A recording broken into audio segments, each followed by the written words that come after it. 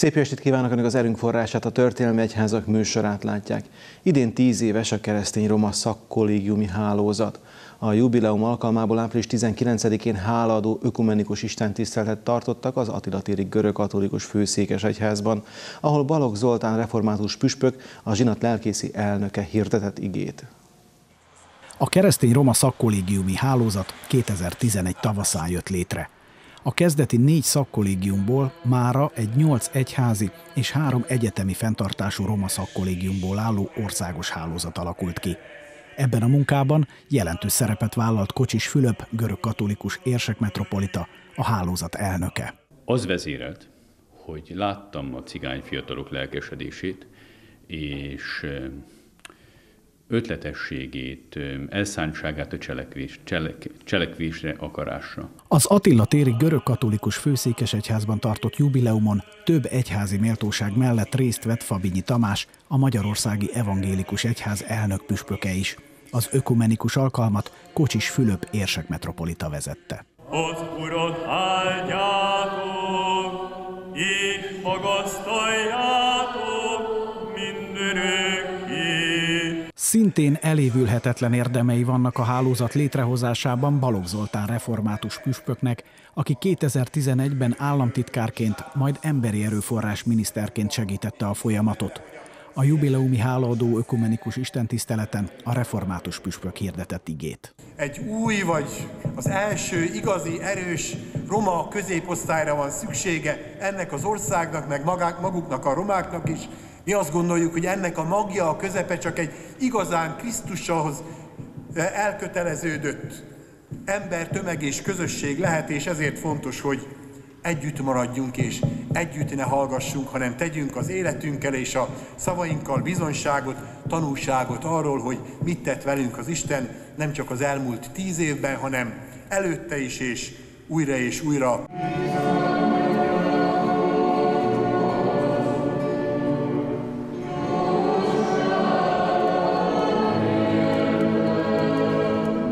Keresztény roma szakkollégiumi hálózatnak többek között Debrecenben, Budapesten, Szegeden és Miskolcon is vannak tagintézményei.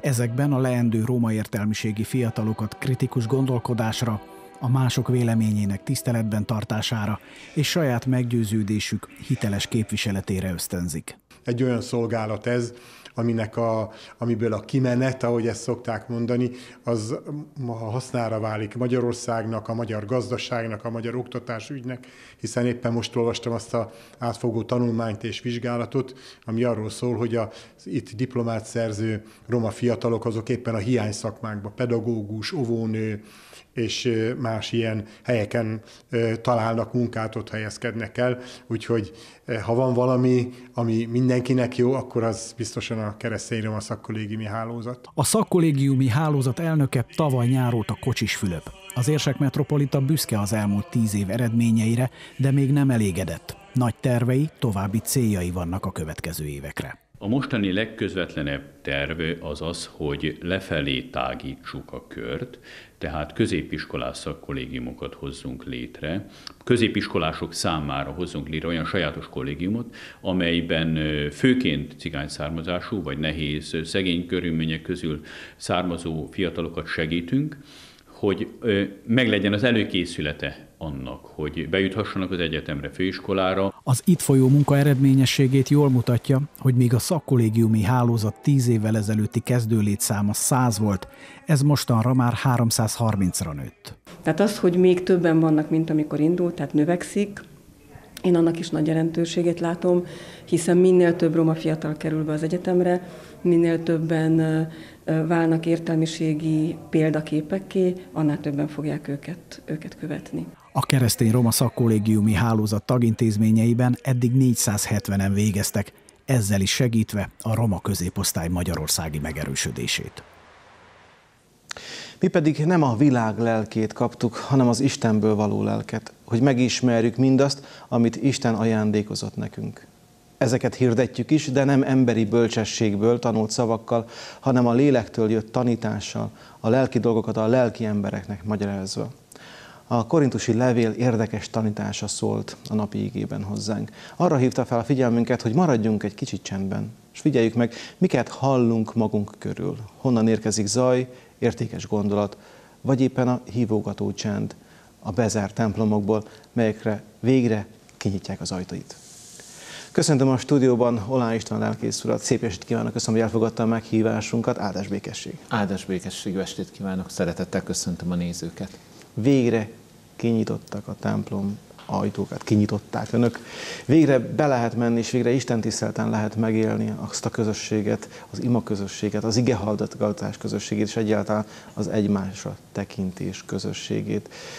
Hogyan élik meg önök lelkészek? Nagyon nehéz volt az elmúlt időszak, ezt eh, mindannyian érzékeltük, tapasztaltuk, hiszen újra bezárt ajtók mögött eh, folytak az ige hirdetések, és nagyon-nagyon nehéz volt, eh, nehéz szívünk volt, amikor fel kellett menni a szószékre egy vasárnap délőtt Isten tisztelt, és láttuk az üres padsorokat ott a nagy templomban. Nagyon szomorú látvány volt, és abban merítettünk erőt egyébként ezekben a napokban, hogy tudtuk, hogy nem vagyunk egyedül, mert hogy interneten keresztül, vagy akár ugye a Debrecen tévén keresztül, és nagyon-nagyon sokan voltak velünk, követték az Isten tiszteleti alkalmainkat, és kaptunk is visszajelzéseket nagyon sok embert, hogy szívesen fogadják az igét, és, és nagyon-nagyon örülnek, hogy, hogy a lelkészek így kitartanak, és valóban élőben e, tudják követni az Isten tiszteletet, de nagyon-nagyon vágynak a templomba, a közösségbe.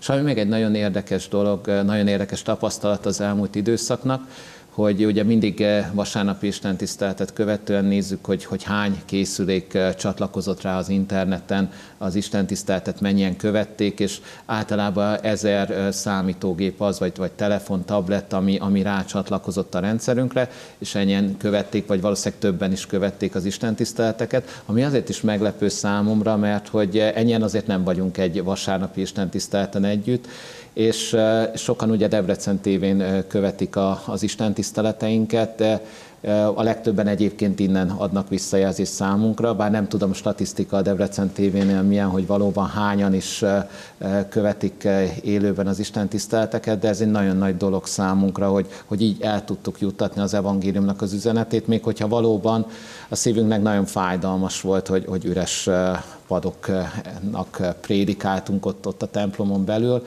de mégis az ige, az üzenet az eljutott, és, és valamilyen csodálatos módon megélhettük, megtapasztalhattuk a, a Szentéleknek a munkáját, az összekötő erejét, az üzenet így, így el tudott érni mindenkit.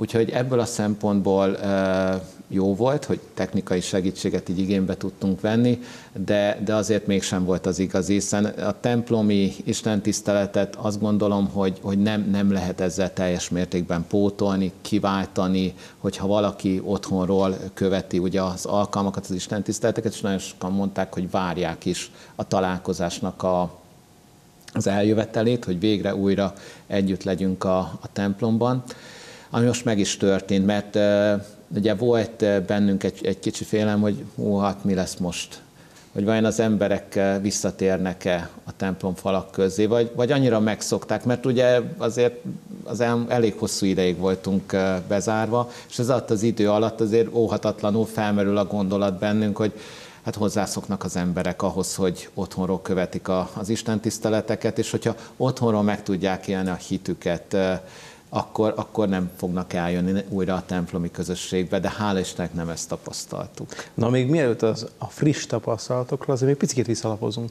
Ugye ezer követő, amit ugye láttak, hát Jóisten kegyelméből reméljük ezer, vagy annál jóval több, vagy több ezer, aki a Debrecen televízión követte, e, azért ez, ez egy egészen különleges szám. Uh-huh. Azért abból a szempontból különleges, mert mondjuk adná Isten, hogy ez mind majd ott legyen a templomban, mindenki, és ott üljön, de vélelmezem azt, hogy nem biztos, hogy mindenki debreceni, vélelmezem azt, hogy nem biztos, hogy mindenki föl tud állni, és el tud indulni, és nem csak kényelmi szempont miatt, de azt meg vélelmezem, hogy ez egy csodálatos missziós lehetőség mindenképpen egyetértek teljesen a, a missziós lehetőség és a, és a többi pont is uh, stimmel, hiszen uh, amikor végignézzük az interneten, nem csak azt tudjuk megnézni, hogy hányan követtek bennünket, hanem arra is rá tudunk keresni, hogy, hogy hol kapcsolták be ezeket a készülékeket. Nyilván a legtöbben itt a Hajdú-Bihar megyei régióban, és valóban nem csak Debrecenben, hanem majdnem minden településén Hajdú-Biharban volt olyan ember, hogy voltak olyanok, akik nézték, a, nézték élőben a közvetítéseinket de volt, aki Kínából, volt, aki Amerikából, volt, aki Norvégiából csatlakozott rá az istentiszteleti közvetítés, úgyhogy ezek is ilyen meglepő dolgok voltak. Hát nyilván Dunántúliak is voltak, volt, aki Szombathelyről, Budapestről is nézték élőben az istentiszteleteket, velünk voltak az emberek. Úgyhogy ez azért számomra egy olyan visszajelzés, hogy, hogy az embereknek igényük van arra, hogy, hogy, hogy, az, hogy az üzenetet meghallgassak, mit üzen, és nem az, nem az egyház feltétlenül, mit üzen az Isten, mit üzen a Szentírás ezekben a napokban, ezekben az időkben, hiszen nagyon sokan keressük azt, hogy, hogy, hogy hogyan is viszonyuljunk ez az egész helyzethez, amit itt a koronavírus járvány teremtett, illetve az ellene való védekezés is hozott magával, hiszen ez mindannyiunk életét befolyásolja is, de hogyan tekintsünk ezekre a helyzetekre, ezekre a napokra is. Azt gondolom, hogy hogy nagyon nehéz válaszokat találnunk a, a miértekre, vagy egyáltalán kérdés, hogy lehet-e választ találni a miértekre, de hogy, de hogy mégis keressük a kérdéseinkre a válaszokat. És nekünk az egyháznak azt gondolom, hogy üzenete van ebben az időszakban is az emberekhez. Ezt az üzenetet el akarjuk juttatni hozzájuk, hogy igen, Isten ezekben a napokban is szólni akar, ezeken a helyzeteken keresztül is az igével meg akar szólítani, mert, mert neki van üzenete a járványban, van üzenete abban, hogy hogyan tudjuk ezt az időszakot átvészelni, és hogyan tud ő megmenteni bennünket, szabadítását véghez vinni ezekben a napokban, hiszen ő itt van közöttünk most is. Van-e olyan gondolat, hogy ez folytatódjon? Tehát, mert hogyha eh, hál' Istennek még is mindjárt a visszatérőkről is beszélünk, de akkor emellett lehetnek azok a személyek is önökkel, a készülékek előtt, akik nem tudnak idejönni, tehát fizikai akadály van. De ugyanakkor ez azt jelenti, hogy így módon az a szószék, tényleg a, a, a, mindig korábban ez egy gondot volt, hogy le kell, ki kell lépni a templom falain kívülre, le kell bontani a templom falain. Hát kérem szépen, akkor pont ez történt. Igen, így is lehet értelmezni, hogy lehet egy ilyen nézőpontja is a mostani eseményeknek, mert valóban a templomon, templomban volt az ige hirdetés, de a templomban nem voltak emberek. Viszont mégis nagyon sok, sok háztartás, nagyon sok otthonban jelen voltunk, ott voltunk, ott szólt az ige hirdetés, bízom benne, hogy figyelték, hallgatták az emberek értő szívvel, és akarták fogni az üzenetet, nem pedig csak egy aláfestő mormogás. Igen, volt ugye a vasárnapi készülődés közepette akár, hanem tényleg, tényleg várták az üzenetet. Igen, kint volt, kint vagyunk, és ezt szeretnénk is meg, megtartani, hiszen, ahogy mondta szerkesztő úr is, valóban vannak olyanok, akik egészségügyi állapotoknál fogva nem tudnak a templomi közösségben részt venni, ezért nekik nagyon-nagyon fontos, hogy továbbiakban is meg tudjuk adni a lehetőséget, hogy interneten vagy akár televízión keresztül velünk legyenek, kövessenek bennünket, és valóban ez egy missziós lehetőség, hiszen sokan vannak, akik lehet korábban nem, nem fordultak Isten felé, nem fordultak Isten igéhez. De hogy most ezekben a napokban azt tapasztalták, hogy nincsenek válaszok arra, hogy miért is vagyunk mi most ebben a helyzetben. Egyáltalán most hogy is értelmezzük, mert hogy mindenkinek van valami gondolata, véleménye, de hogy mit mond, mit mond erről a Biblia, mit mond erről az egyház, ezt, ezt csak úgy tudhatta meg, hogyha, hogyha tényleg eh, hallgatta az ige hirdetéseket, az Isten tiszteleteket, és, és abból azt, a, azt az útmutatást eh,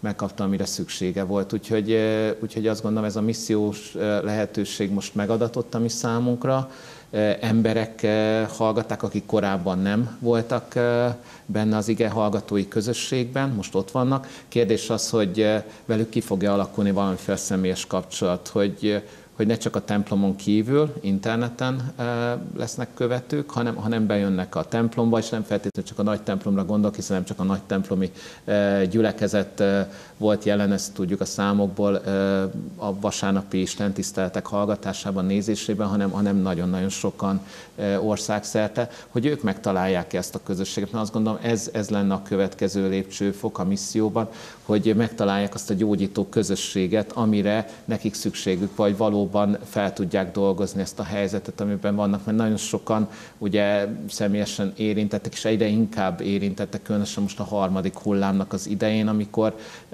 amikor jönnek a hírek innen-onnan gyülekezetből és gyülekezeten kívülről, hogy, hogy igen, hozzátartozom, beteg lett, kórházba került, lélegeztetőgép, imádkozzunk érte e, együtt, vagy, vagy elhunyt koronavírusban, mert sajnos ilyen tragédiákkal is szembesülünk, majdnem naponta voltak hírek halálesetekről az elmúlt időszakban, és, és ilyenkor is a lelki támaszra óriási szükség van, mert meg erre a lelki erőforrásra, hogy tudják hordozni ezt a helyzetet családtagok, ismerősök, barátok, és, és nagyon sokan beszámoltak arról, hogy, hogy a mostani járványidőszakban hirtelen vesztették el hozzátartozójukat, hogy hozzátartozójukat, hogy reggel még nem volt igazán semmi baja, kölgött egy kicsit, délben rosszabbul lett, és, és estére pedig már lélegeztetőgépre került, és néhány napon belül elment a minden élőknek az útján hogy, hogy ilyen hirtelen nem, nem tudtak felkészülni rá, most, most mit csináljanak, hogyan, hogyan intézzék ezt, hogyan dolgozzák fel. És azt gondolom, itt az egyház be tud lépni a képbe, és tud, tud hathatós segítséget nyújtani. Nem magamtól, nem, magam, nem az én reménységem, mert emberi reménység azt gondolom, itt nem nagyon van, hanem azzal a reménység, amit mi is Istentől kapunk, és, és tőle nyerünk, azzal tudunk szolgálni mások felé, és utat mutatni, hogy igen, van tovább, van, van üdvösség, örök élet felé visz bennünket a mi úrunk, és ebből lehet nekünk is erőt meríteni. Szóval ez egy nagyon nagy missziói szolgálat lehetőség ezekben a napokban számunkra. Közösségi felületet kell benne létrehozni, hogy kérdez a lelkészettől. A lelkésztől című felületet. Igen. És nem, ne csak szólj be, hanem kérdez. Nyugodtan. No, e, ugye kinyíltak viszont az ajtók, és megtörtént ugye az első alkalom, és ahogy, eh, ahogy el is hangzott mi a beszélgetés elején, azért nagyon sokan visszatértek a padokba. Milyen volt újraélni azt, hogy nem üres templom, és nem csak az a fajta gondolat volt mögött, hogy nyilván tudom, hogy a kamera túlsó végén nyilván a képernyők ott ülnek, hanem, hanem hát ott szemtől szembe lehetett nézni.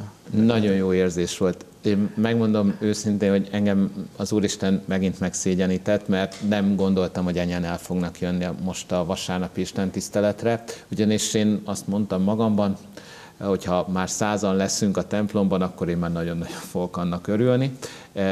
De hogy mikor beléptem a templomba, kb. 3-4-10 körül voltak, vagy 25-en, 30-an, hm, mondom, elkezdtek érkezni a testvérek, ez már jó.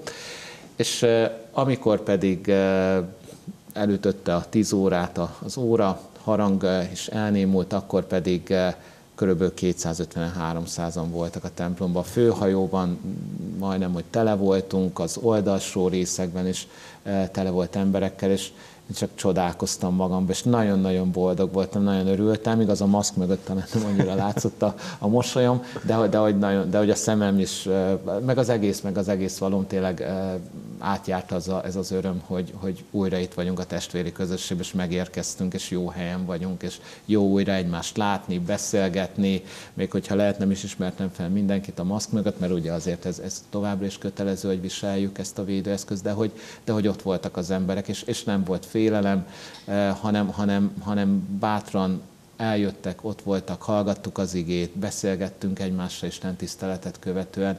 Szóval egy nagyon-nagyon jó érzés volt, és, és eh, megnyugodtam, mert hogy e, tényleg tartottam attól, hogy, hogy, hogy nem fognak jönni az emberek, mert hozzászoktak ehhez az otthoni internetes vagy, vagy televízión keresztüli ige hirdetésekhez, és, és otthon maradnak, nem jönnek el, de, de hogy ott volt a vágy a szívükben, és, és ennek láttam a jelét, nyomát, hiszen ott ültek a padokban az emberek, eljöttek, és én bizony benne, hogy ez meg is fog maradni.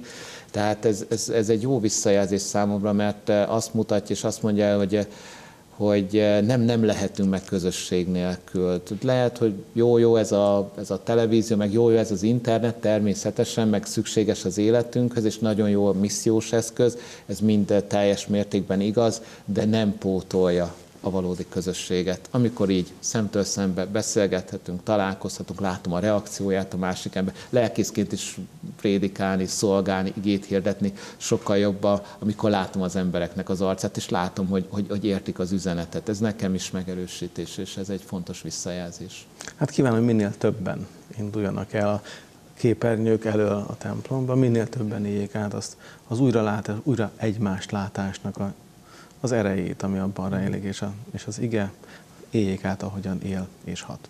Köszönöm, hogy elfogadta meghívásunkat. Én is köszönöm. Néhány napig együtt volt a damaszkuszi tanítványokkal, és azonnal hirdetni kezdte a zsinagógákban, hogy Jézus az Isten fia. Az apostolok cselekedeteinek könyvéből érkezik ma a hitvallásra hívó ige. Kocsis Attila lelkész tolmácsolásában.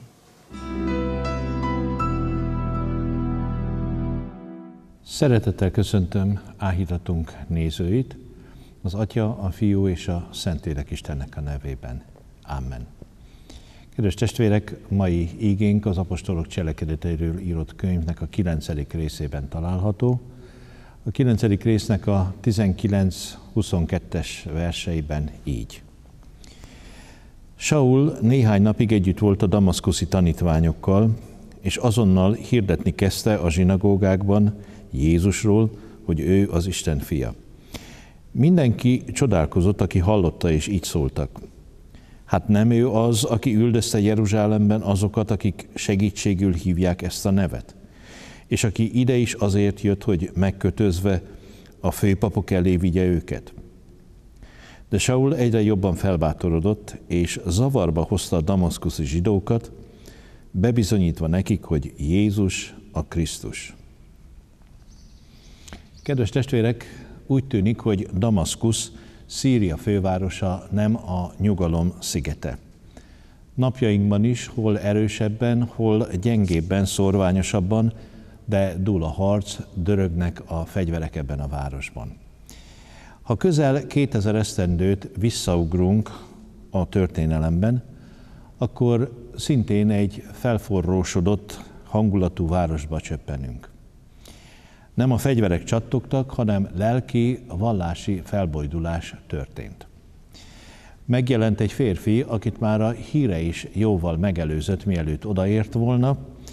Azért jön ez a férfi, hogy Jézusról bizonyságot tevőket üldözze. Történt valami, és micsoda megdöbbenés, hogy, hogy nem, nem üldözi őket, hanem velük együtt hirdeti Jézus a Krisztus. Vagyis Jézus a messiás, Jézus a megváltó. Kevesen értik, mi lehet az oka ennek a pálfordulásnak. Igen, a vakbuzgó hitvédő Saulból lesz egy lelkesen hitvalló Pál. A nagyra vágyó Saul hirtelen a porban találja magát, szemben a kérdéssel, a Jézusi kérdéssel, miért üldözöl engem? Itt fordul meg az élete, a sorsa, hite és egész életfolytatása, egész életútja, egész addigi világa üldözőből üldözötté válik. És még a neve is megváltozik. Saul annyit jelent, mint nagy. És lesz belőle Pál, ami annyit jelent, kicsi.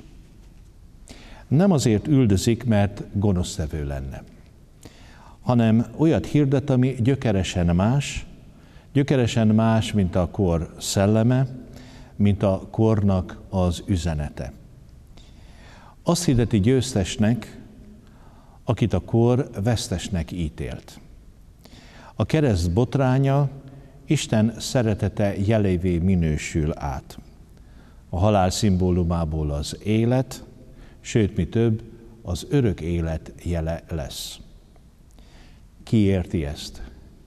Ki igazodik el ebben a vallási, teológiai, hitbéli vitában? Fornak az indulatok Damaszkuszban, fornak az indulatok, pro és kontra érvek hangzanak el, álláspontok ütköznek. Eközben a Jézussal találkozott Pál rendületlenül hirdeti Jézus a Krisztus. Ez az első hitvallás. Nem hittételek sokasága, hanem három egyszerű szó, Jézus a messiás. Jézus a megváltó. Mai korunk nyelvén így mondhatnánk, ez egy egybites kifejezés. Az informatikában ez annyit tesz, hogy ennél kevesebb nem lehet, ennél kisebb egység már nincsen. Egyszerű az üzenet, Jézus a megváltó. Ezt az üzenetet lehet, ezt az üzenetet kell a ma emberének is elmondani, és vele megértetni. Nem többet, és nem kevesebbet. Ez az élet és az örök életnek az egyszer egye. Ha van megváltód, akkor van életed, itt a Földön is. Ha van megváltód, akkor van életed és örök életed is. Ennyire egyszerű, és mennyire nehéz ezt elfogadni. Megérteni és megértetni. Akkor ott Damaszkuszban, és akár itt most Debrecenben, vagy bárhol a világon. Bár tudjuk, számos helye van a világnak, ahol egy ilyen hitvallás bizony életvesztéssel jár. Ahhoz, hogy ezt valaki igaz lélekkel kimondja, pálfordulásra, megtérésre, lelki újjászületésre van szüksége. Nem könnyű nagyra nőtt énünket hitvalló szolgálattá átminősíteni, átengedni. Nem könnyű kimondani, élek többé nem én, hanem él bennem a Krisztus. De aki ezt kimondta, annak megfelebbezhetetlen bizonyossága van arról, hogy neki van megváltója, és ez a megváltó Jézus. Amen.